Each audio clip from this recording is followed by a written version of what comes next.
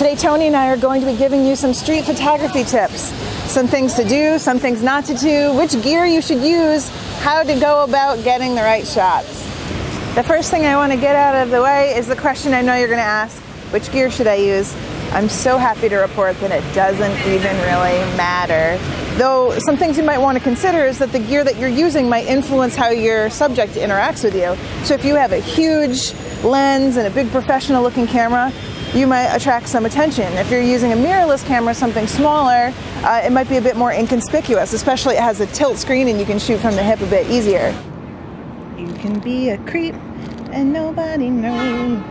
Another thing that I notice is if you're using vintage gear, I've been out with a Yashica TLR, people are more interested in what you're doing. They think you're kind of artsy, they want to ask you questions. It's easier to interact. You can see an example of this happening in these pictures of Tony taking shots of a group of kids with the Mamiya RB67 with a Polaroid back. The kids were so excited about the camera that they playfully posed and laughed as he took their picture. And the parents were really thankful too. Tony gave each kid a Polaroid picture to take home. So when you're considering gear, with street photography, there's some different things to think about. Not just the quality of the pictures, but how your subjects will perceive you based on the gear that you're using. Uh, oh, also focal length is pretty important. A 70 to 200, not really traditional. You can get away with a smaller, less expensive lens like a 50 millimeter. That's going to work just fine. A common question we get is how do you know when to ask permission? You kind of have to know when the moment's right. If it's completely candid and the person is somewhat far away, you're not in the face, you can snap a quick pic.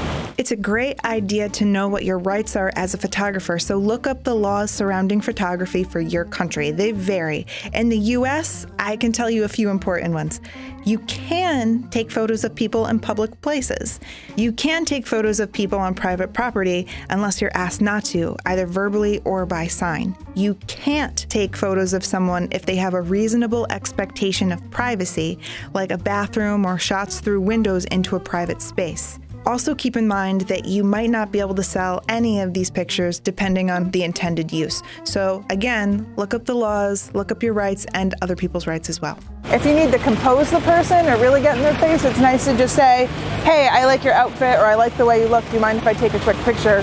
Some people will just say yes. Most of the time, people say yes. Others will say, kind of, no, get out of my face. And it's nice to just kind of respect that.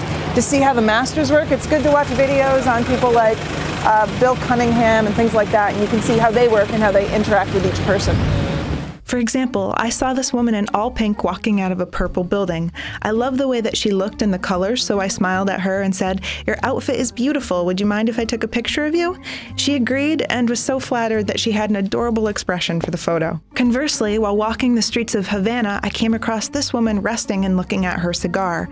I wanted her candid expression, so I took a shot quickly as I was walking by. The image isn't perfect, but I got an expression I didn't think I could replicate.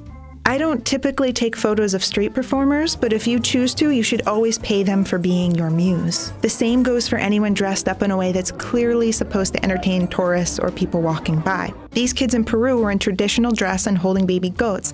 I asked a parent standing by if I could take a photo, and once I had permission, I took their picture and compensated them for their time and for being such great models. Had I wanted a candid photo, I would have taken the picture, asked if it was okay, and then compensated them. One good tip to use is to pre-compose your shot and then wait. So if you see a beautiful location but nothing really interesting is happening, wait until the subject comes along to fill the frame. For example, I like the juxtaposition of the market with the mosque in the background, but wanted some people in the shot as well. I framed my photo and then waited for people to walk into my shot to get the photo that I was after. It also can help to shoot wide. You can always crop after and post.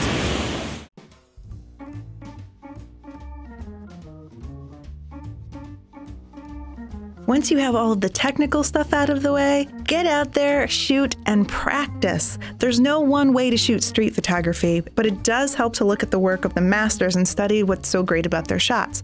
Garry Winogrand, Mary-Ellen Mark, and Henri Cartier-Bresson are some of the greats to study.